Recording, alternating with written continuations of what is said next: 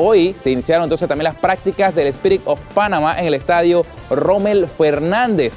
Ahí iniciaron las prácticas de lo que es este sueño de que Panamá participe en las Olimpiadas de invierno en Sochi, Rusia. Los integrantes del Spirit of Panama han estado entrenando en el estadio Rommel Fernández y trabajando más bien la parte técnica. Vamos a escuchar sus declaraciones.